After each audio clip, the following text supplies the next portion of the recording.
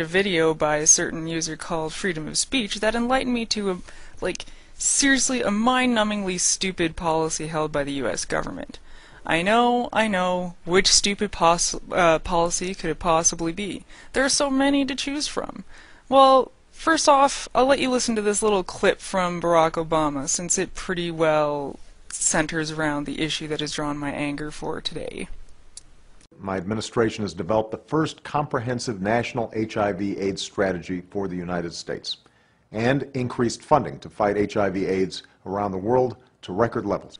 Now, of course, superficially, that sounds fantastic. I mean, HIV is a serious global health issue that is killing millions of people. I mean, what could be wrong with that, right?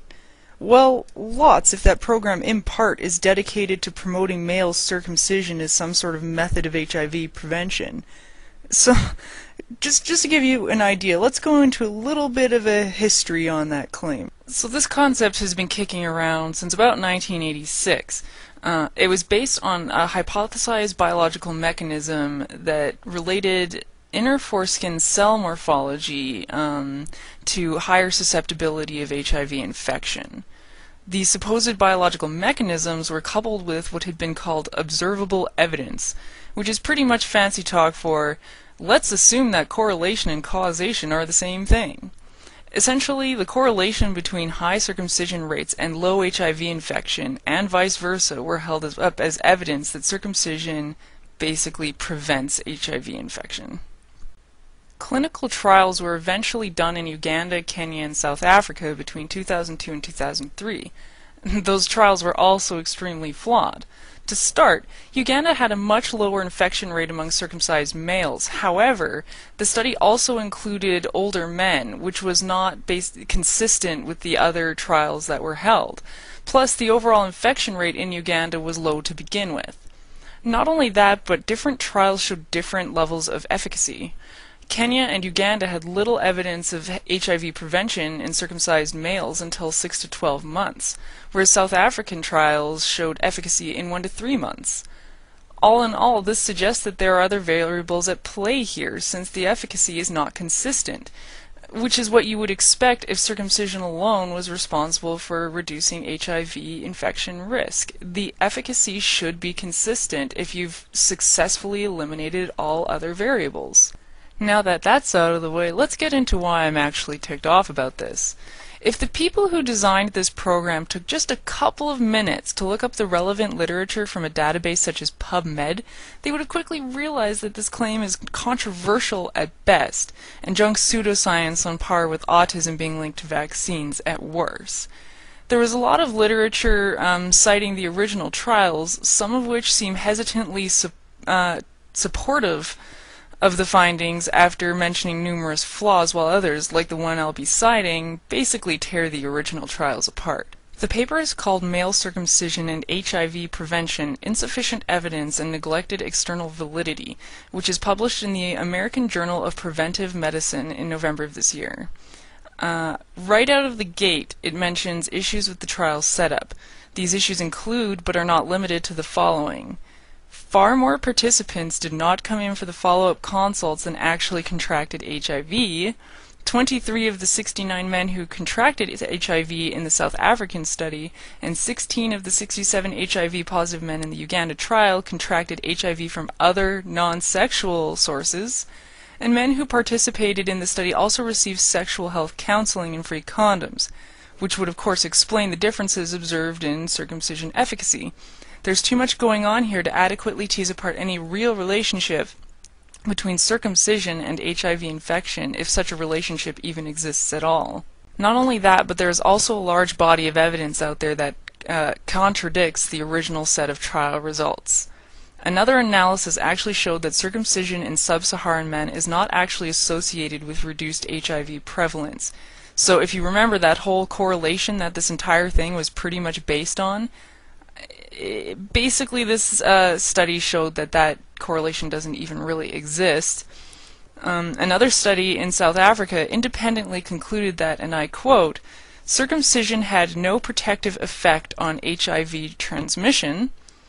And another little interesting tidbit uh, both US and sub Saharan men have relatively high HIV uh, infection rates and actually, interestingly enough, high rates of circumcision, with approximately 75% of US men and about 70% of sub Saharan men being circumcised. Some of you may have noticed that the impact of male circumcision on a certain segment of the population wasn't even addressed in the original trials. That's right. Women and the possible implications male circumcision might have on them were totally neglected in the studies. Now, the connection may not seem immediately obvious, but that's pretty much the reason I'm making this video, or one of the reasons anyway. You see, male circumcision may actually increase the risk of HIV infection in women, and men for that matter. One way this happens is that men who have the procedure done are more often than not under the impression that they are now immune to HIV, and as a result, they choose not to use condoms. The paper that I'm basically pulling this all from brings up three extremely important issues with, regards to changes in human behavior as a result of male circumcision. How many of these programs result in behavioral changes like less frequent condom use? What's to be done about the sidelining of women when male circumcision is used as a preventative method? And people tend to be unwarranted, um, or at least give unwarranted confidence in a technical fix when what is really needed is a bit of human restraint in the form of condom use and other safe sex practices. Now, when I say people, I mean both men and women here. Both men and women in these studies seem to basically feel that they're now immune to this disease and are no longer concerned about it, which clearly isn't the case, since even the original trials said it only was 60% effective anyway. Another big issue I have with this whole thing is that a lot of people talk about circumcision as if it's some run-of-the-mill fail-safe procedure. What is happening in Africa right now is the promotion of male circumcision in adolescents and adult males as well as in infants. A study by the World Health Organization in 2008 found that 24% of ritualistic circumcisions and 19% of clinical circumcisions in adult males had not healed after 60 days. Out of all of those circumcisions, 35% of the traditional and 18% of the clinical procedures resulted in complications. Even the original trials admitted that there were unacceptably high levels of complications, even under basically optimal clinical settings. These complications can be anything from mild swelling and bleeding to hematomas, sepsis, and even death. Did I mention that HIV can also be transmitted through improperly sterilized circumcision equipment? Don't even get me started on the BS about infant circumcision being okay either. All physiological and physical evidence points to infants being in high levels of pain as a result of the procedure. I haven't even been able to scratch the surface of issues surrounding male sexual health and decreased sensitivity.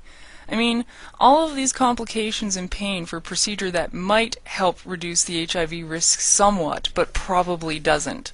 Circumcision isn't even financially effective. Supplying free condoms is 95 times more cost effective than male circumcision. A mathematical modeling analysis showed that cost effectiveness of male circumcision is lagging way behind more effective preventative methods like condom use and antiretroviral therapy. In fact, this paper rightly points out that circumcision is a multi-billion dollar industry that is ingrained within Western culture. It isn't unreasonable to be concerned with cultural biases promoting this procedure. A Cochrane review stated, Circumcision practices are largely culturally determined, so there are strong beliefs and opinions surrounding them. It is important to acknowledge that researchers' personal biases and dominant circumcision practices of their respective countries may influence interpretation of findings. So there you have it. I know it probably doesn't matter to a lot of you, but I have serious issues when people misuse science to promote things like this.